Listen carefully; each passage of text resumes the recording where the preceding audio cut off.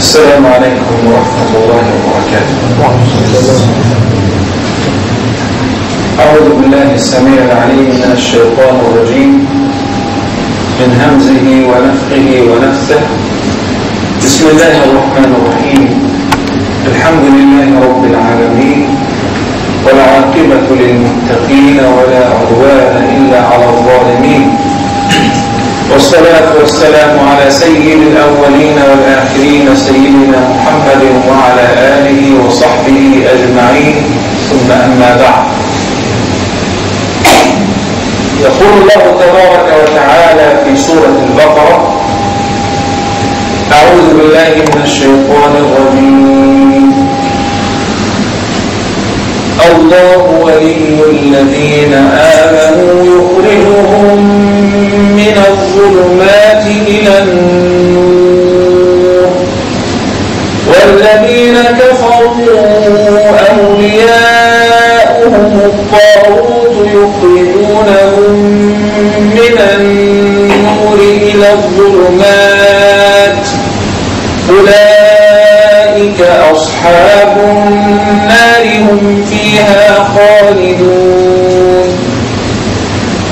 And this beautiful verse means Allah is the protector and the support of the believers.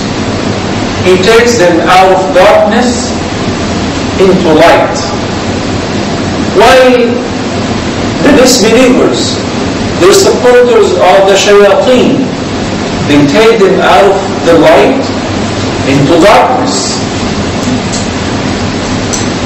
Then, after he explained to us that believing in Allah subhanahu wa ta'ala as the only true God and committing oneself to comply with his teachings, this is the ultimate truth and this is the ultimate success and this is the light. The light of this life and the light in the hereafter. He has told us that there is a price. And everybody of the believers shall be tested and tried.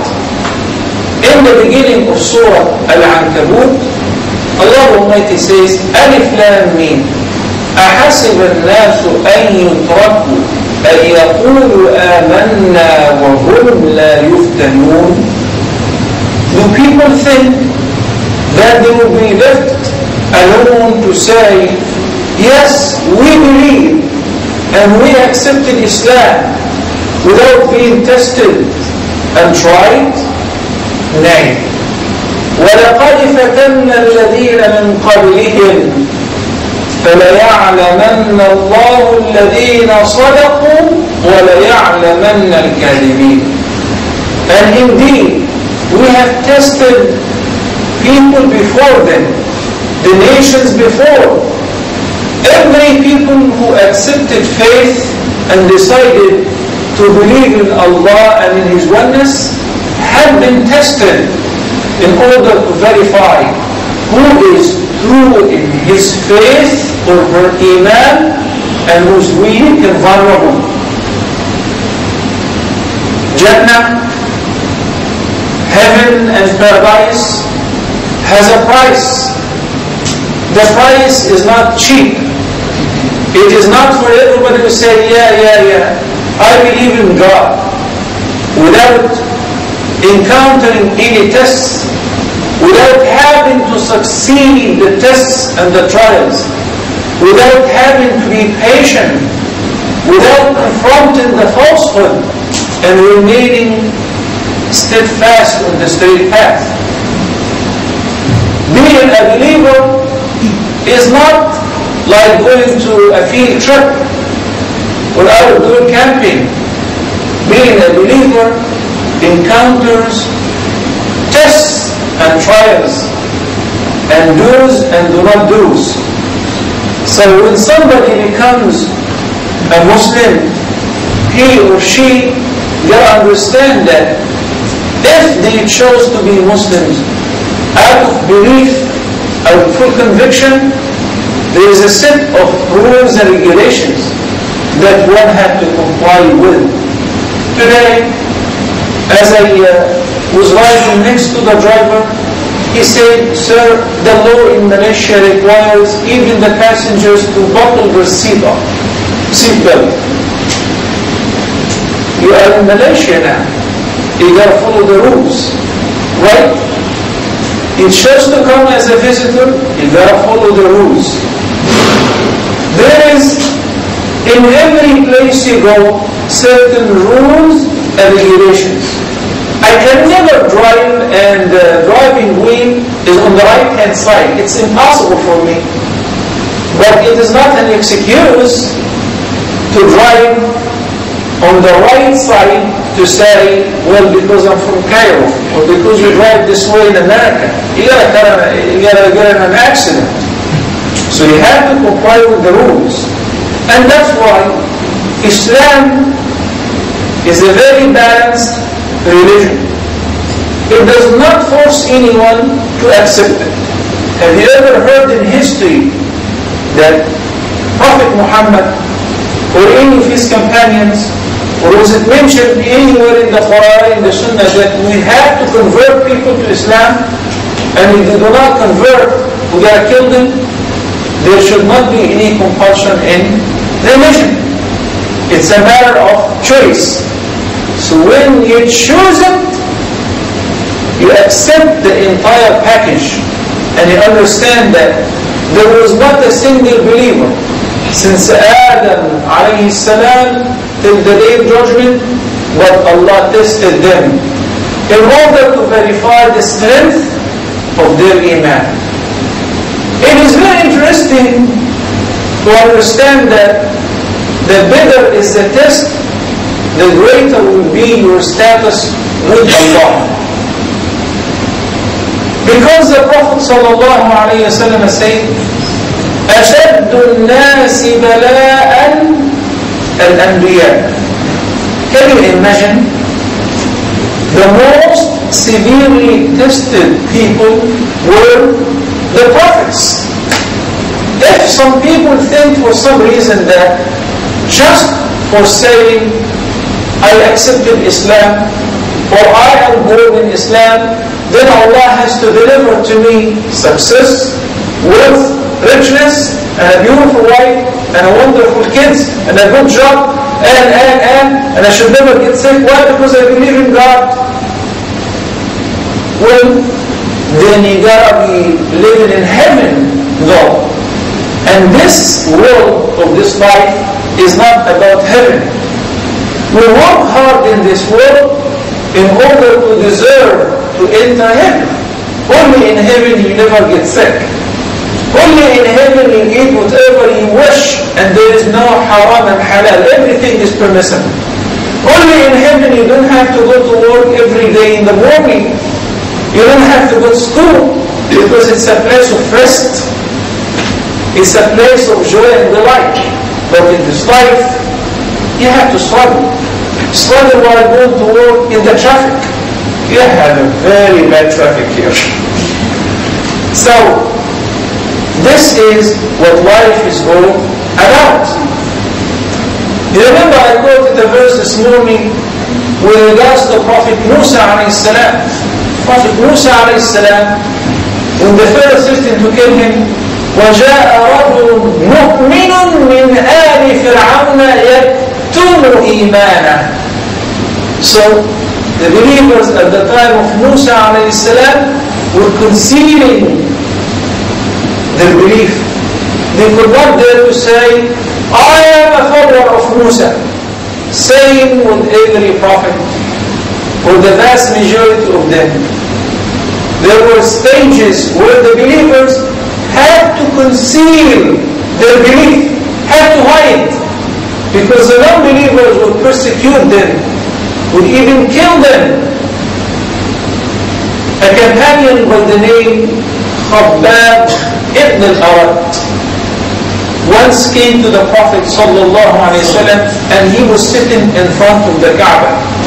At the early stage of da'wah where Muslims were really persecuted, you know, they would capture those who accept Islam, if they know about them, and will take them out in the desert under the extremely hot sun and again against the burning sand, and will lay them on the sand bare skin and torture them and whip them and burn their bodies. So Khabbab came to the Prophet ﷺ and said, O Messenger of Allah, aren't you the Messenger of Allah? He said, yes.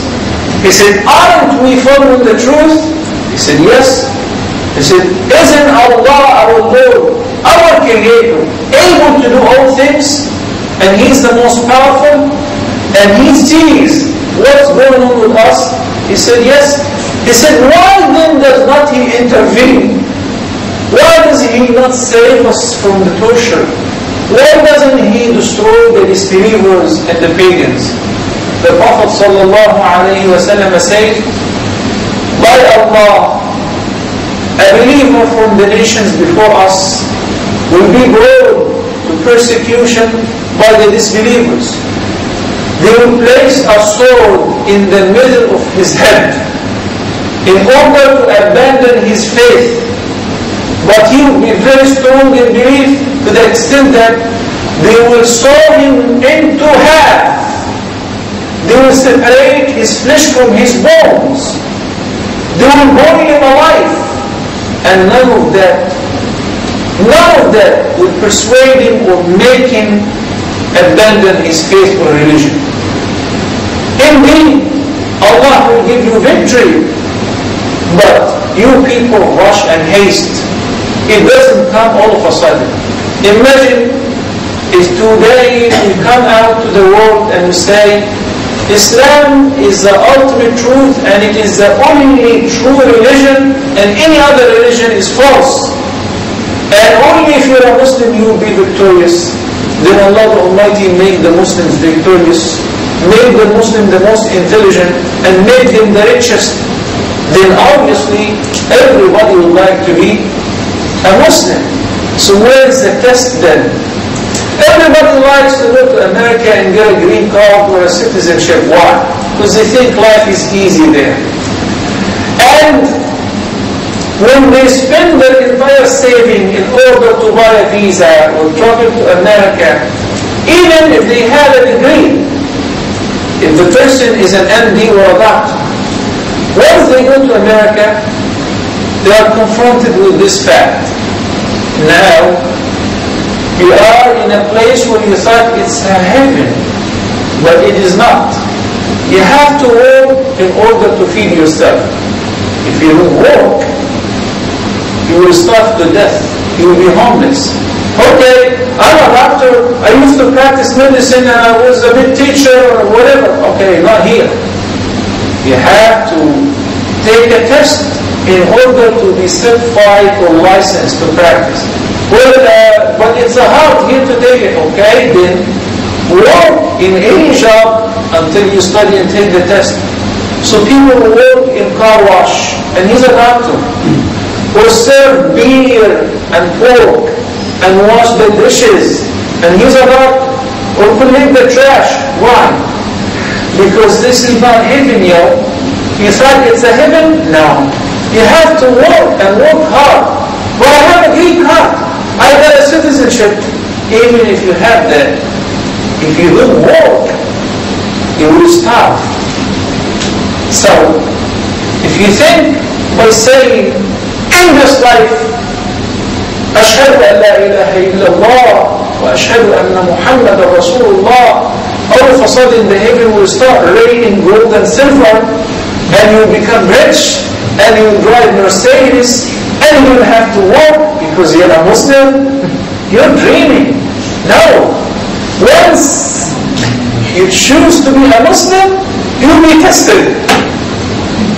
Suhaib al-Rumi, a Byzantine slave, who was once traveling and he was captured and he was sold in Mecca as a slave, but he is very intelligent. So he made a deal with his master that he's going to pay him that much and free him. So he worked hard until he ransomed himself. Then he worked hard and he worked hard until he became a very successful merchant and businessman and he made a great deal of money